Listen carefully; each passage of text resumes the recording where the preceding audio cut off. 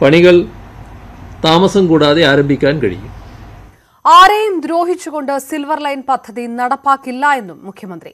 പദ്ധതി മൂലം ആരും കിടപ്പാടമില്ലാത്തവരാകില്ല. ഭൂമിയും വീട് നഷ്ടമാകുന്നവർക്ക് പുനരധിവാസം ഉറപ്പാക്കുമെന്നും മുഖ്യമന്ത്രി പറഞ്ഞു.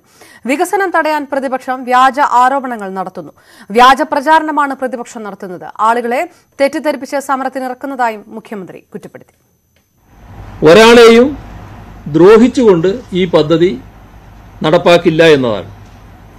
ഏറ്റെടുക്കേണ്ടി വരുന്ന ഭൂമിക്ക് ഏറ്റവും നല്ല രീതിയിലുള്ള നഷ്ടപരിഹാരം നൽകും.